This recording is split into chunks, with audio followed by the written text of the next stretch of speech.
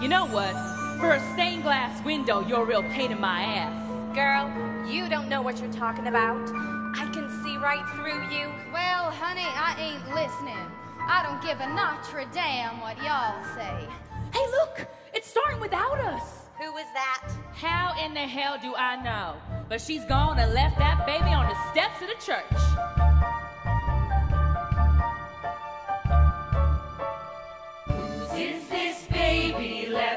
Left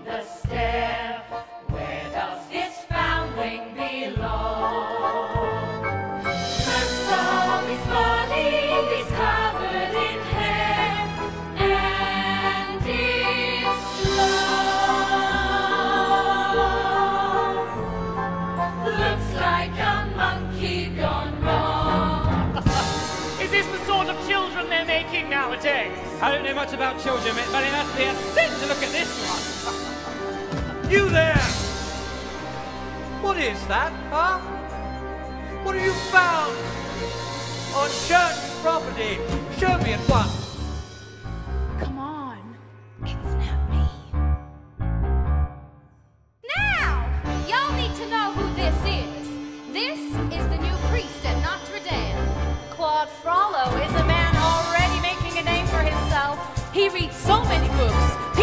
Beginning to wonder whether he's more sorcerer than priest. We've been watching this new priest Frollo. Where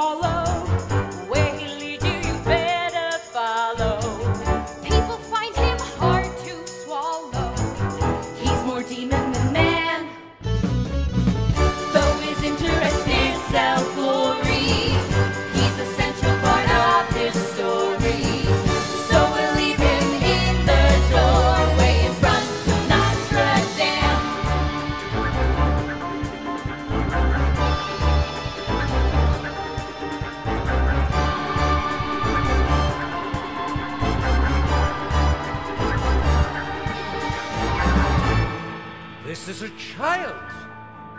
Abandoned here before the great image of Saint Christopher. Won't one of you take this foundling and raise it as your own? Throw it into the water or into the fire. That child is an abomination. Nonsense! As a Christian, show compassion. Do you think that God won't hear? Every child made in his image is a child that God holds dear. He has told you that he loves you. His commandments all are clear.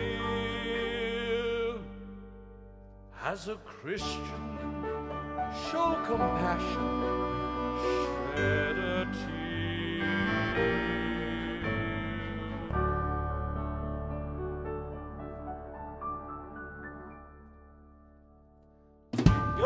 It's only got one eye, or at least you can only see one. And look at the shape of its back. It's only half formed. It's Quasimodo. That's the devil's child. Where's your Christian compassion now, Frollo?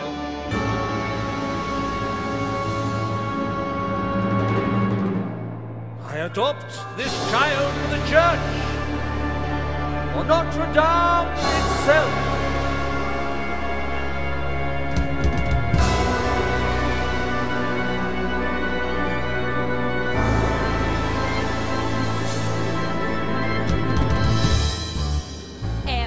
Is how Notre Dame got its hunchback.